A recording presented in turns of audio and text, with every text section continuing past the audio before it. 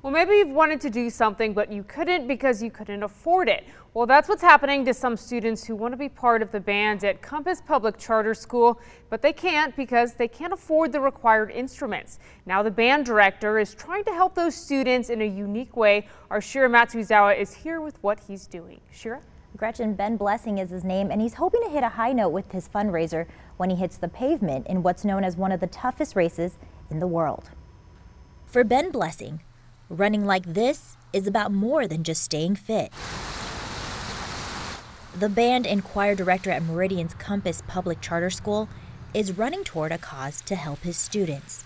I would like to raise $50,000 so that we can buy enough instruments that for the next few years that every child that wanted to take the class, if they couldn't afford the money to take the class at all, we could have a band instrument available for them to use. On July 15th, Blessing will run 135 miles in the 2019 Badwater Ultra Marathon, all in hopes of raising money to buy those band instruments, which can cost anywhere between 500 to $1,000, and depending on the instrument, even more than that. He hopes running this marathon will inspire folks to donate to his cause. I feel really bad when you know, a student says, well, I didn't join your class because we didn't have the money. The marathon happens in Death Valley where record temperatures around this time of year are up to 130 degrees.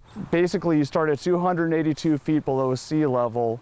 You cross two mountain ranges to the, the finish line, and the finish line is at 8,500 feet. But for Blessing, those temperatures are only minor notes if it'll help him raise the necessary funds for the instruments.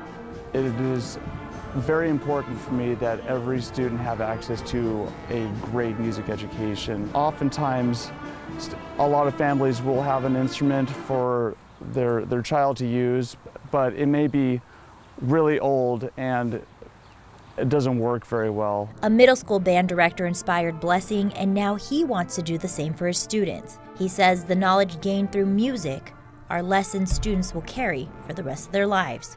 It takes a lot of determination and grit and perseverance. And Ben tells me that he has participated in this ultra marathon before, and it took him 32 hours to complete. Meantime, there is a GoFundMe set up for this, and we'll have a link to it on our website at ktvb.com. Gretchen? All right, thank you, Cheryl.